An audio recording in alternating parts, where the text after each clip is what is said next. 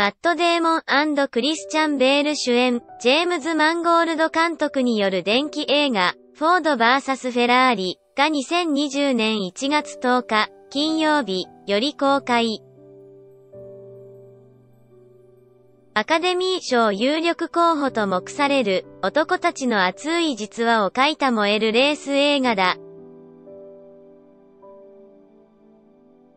許すまじ、巨大企業フォードによる、打倒フェラーリ、フォード VS フェラーリ、というタイトル通り、本作はアメリカ自動車業界ビッグさんの一角を担う巨大企業フォード社が、打倒フェラーリに挑んだ、1966年の伝説的なルマン24時間レースを題材にした物語である。デーモン演じる元レーサーのキャロル・シェルビーは、自身が設立したシェルビーアメリカンから数々のスポーツカーを世に送り出した人物。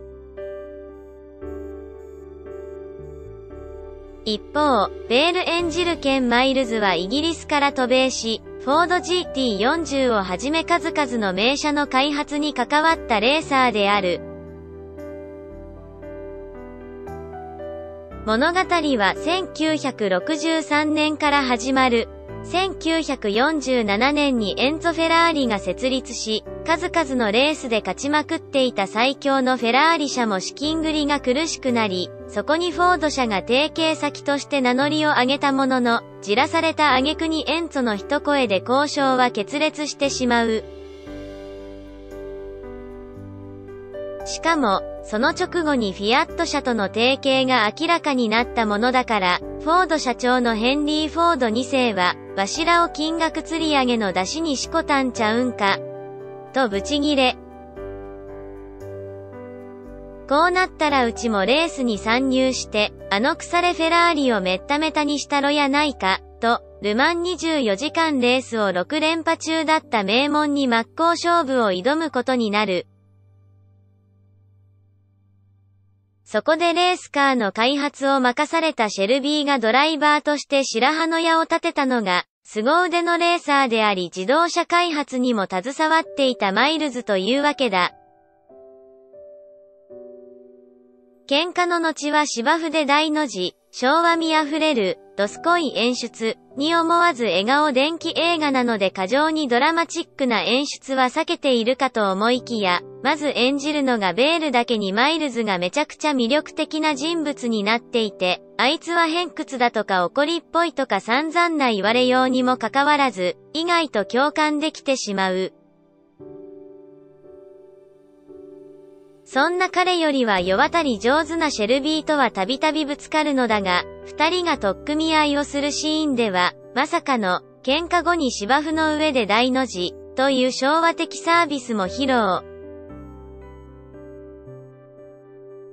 また、マイルズの妻モリーはそんな男たちを見守る良き母みたいな役割を押し付けられていて、このあたりもどっぷり昭和である。実際、昭和30から40年代のお話なのだが、他にもジョン・バーンサル演じる自動車業界の偉人リー・アイアコッカが登場し、シェルビーマイルズと反目するフォード副社長レオ・ビーブやフォード2世よりも、少しは話のわかる人物、として書かれている。フォードで名車マスタングを開発、フォードの高級車部門を立て直し、ルマンを制した数年後には同社の社長に就任したアイアコッカ。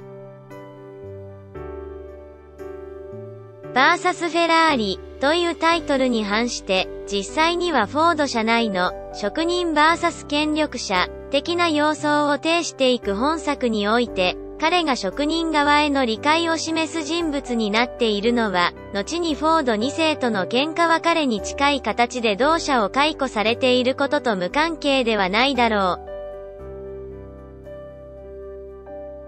なお、アイア国家は映画の公開を待たずに2019年7月に亡くなっている。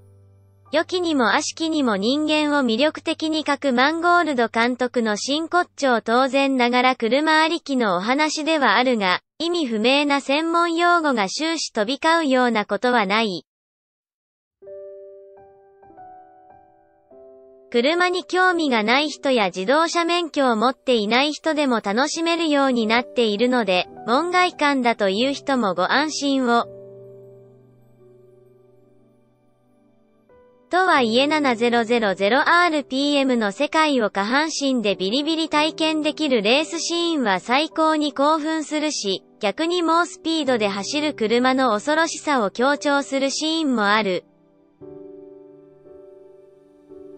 素人にはルマンなどレースのお約束はわからないものの、飽きさせることはなくスリルを提供し続け、その合間にこってり濃厚な人間ドラマを挟み込んでくるマンゴールド監督の手腕は見事だ。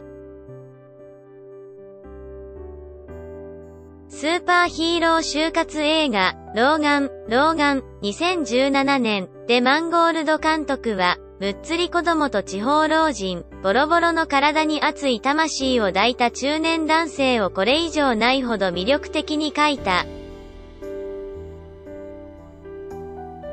ウォーク・ザ・ライン、君に続く道、2005年でホアキン・フェニックスが演じたジョニー・キャッシュも、17歳のカルテ、1999年、ノイノナとアンジーも、それぞれ問題を抱えてはいるが、とにかく人間として魅力的だった。